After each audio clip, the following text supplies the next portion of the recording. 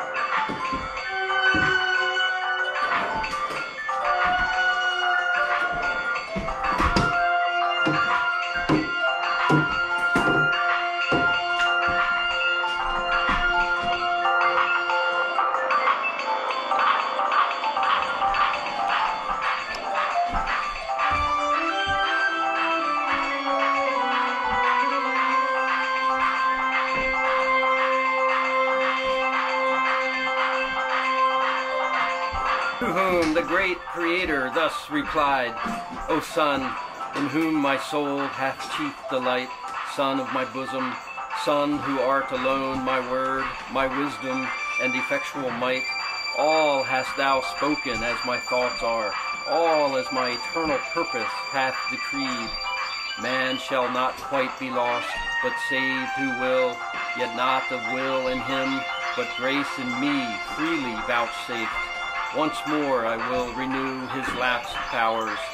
Thou forfeit and enthralled by sin to foul, exorbitant desires, upheld by me, yet once more he shall stand on even ground against his mortal foe, by me upheld, that he may know how frail his fallen condition is, and to me owe all his deliverance, and to none but me.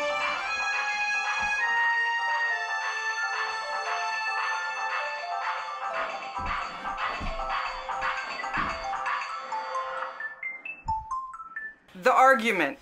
Satan now in prospect of Eden, and nigh the place where he must now attempt the bold enterprise which he undertook alone against God and man, falls into many doubts with himself and many passions, fear, envy, and despair. But at length confirms himself in evil, journeys on to paradise, whose outward prospect and situation is described, overleaps the bounds, sits in the shape of cormorant on the tree of life, as highest in the garden to look about him. The garden describes Satan's first sight of Adam and Eve, his wonder at their excellent form and happy state. That lie bestrewn unsightly and unsmooth, ask riddance if we mean to tread with ease. Meanwhile, as nature wills, night bids us rest, to whom thus Eve with perfect beauty adorned. My author and disposer, what thou biddest, unordered I obey, so God ordains. God is thy law, thou mine, to know no more is woman's happiest knowledge and her praise. With thee conversing, I forget all time, all seasons and their change, all please alike. Sweet is the breath of morn, her rising sweet, with charms of earliest birds, pleasant the sun, when first on this delighted land he spreads his orient beams on herb, tree, fruit, and flower. glistering with dew, fragrant the fertile earth after soft showers, and sweet the coming on of grateful evening mild, then silent light with this her solemn bird and this fair moon, waked by the circling hours with rosy hand unbarred the gates of light. There is a cave within the mount of God, fast by his throne, where light and darkness in perpetual round lodge and dislodge by turns which makes through heaven. Grateful vicissitude like day and night, light issues forth, and at the other door obsequious darkness enters, till her hour to veil the heaven through darkness.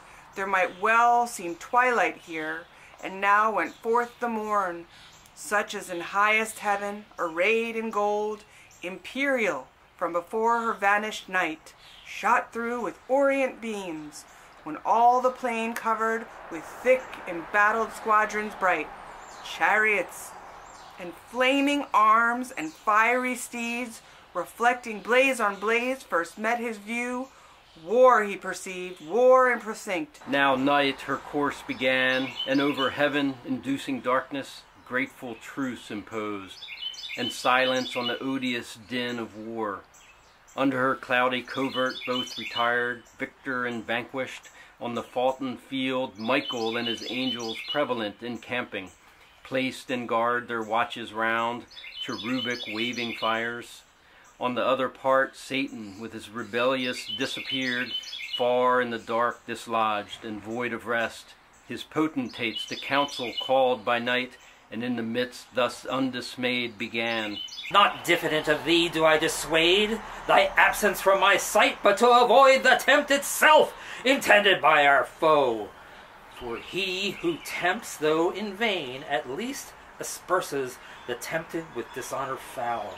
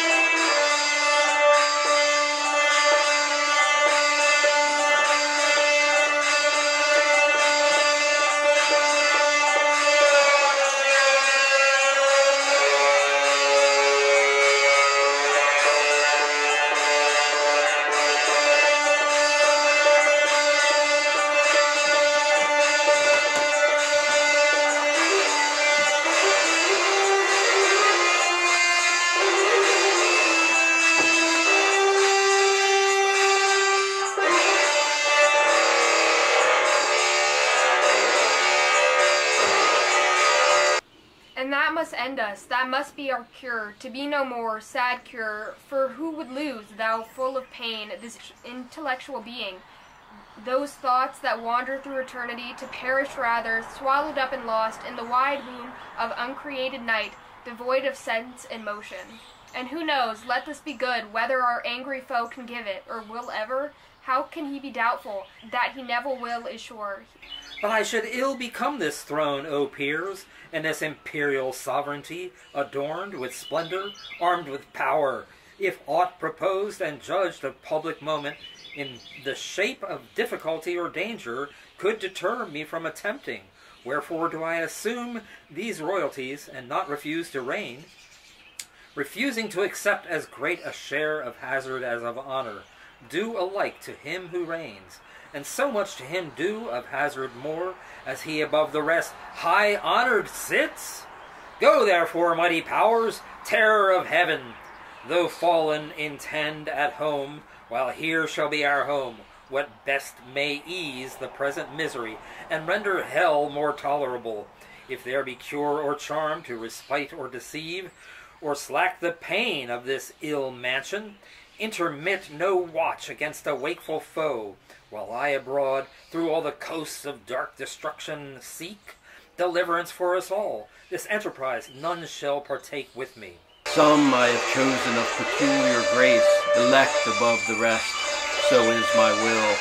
The rest shall hear me call, and oft be warned their sinful state, and to appease the betimes the incensed deity, while offered grace invites.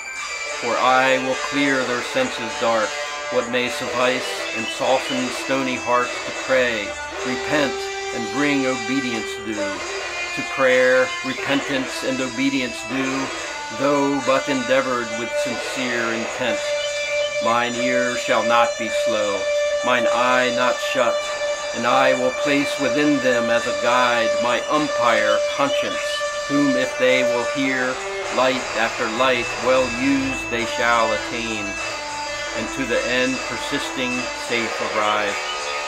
This my long sufferance and my day of grace, they who neglect and scorn shall never taste. But with resolution to their fall, overhears their discourse, thence gathers that the tree of knowledge has forbidden them to eat of under penalty of death, and thereon intends to found his temptation by seducing them to transgress, then leaves them awhile to know further of their state by some other means. Meanwhile, Uriel, descending on a sunbeam, warns Gabriel, who had in charge the gate of paradise, that some evil spirit had escaped the deep and passed at noon by his fear in the shape of a good angel down to paradise, discovered after by his furious gestures in the mount. Gabriel promises to find him out ere morning. Night coming on, Adam and Eve discourse of going to their rest. But wherefore all night long shine these, for whom this glorious sight, when sleep haze shut all eyes, to whom our general ancestor replied, Daughter of God and man, accomplished Eve, those have their course to finish, round the earth by more evening, and from land to land in order though, to nations yet unborn. Ministering light prepared, they set and rise, lest total darkness should be night, regain her old possession, and extinguish life in nature and all things, which these soft fires not only enlighten, but with kindly heat of various influence foment and warm. Temper, nourish, or in part shed down their stellar virtue on all kinds that grow, on earth may be hereby after to receive perfection from the sun's more potent ray. and found already known that he for news had thought to have reported. Gladly that he mixed among those friendly powers who him received with joy and acclamations loud, that one that of so many myriads fallen, yet one returned not lost. On the sacred hill they led him, high applauded and pres- present, before the seat supreme, from whence a, a voice from amidst a golden cloud thus mild was heard, Servant of God, well done, well hast thou fought.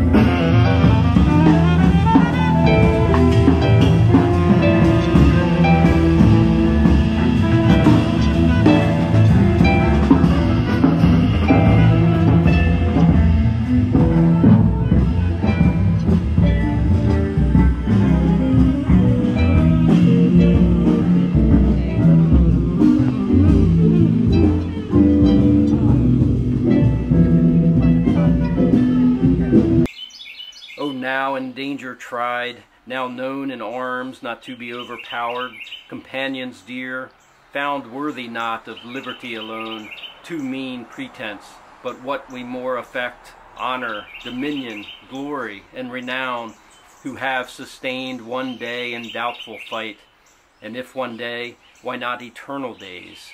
what heaven's Lord had powerfulness to send against us from about his throne, and judged sufficient to subdue us to his will, but proves not so. Then fallible, it seems, of future we may deem him, though till now omniscient thought. Supposed not incorruptible of faith, not proof against temptation, thou thyself with scorn and anger wouldst resent the offered wrong.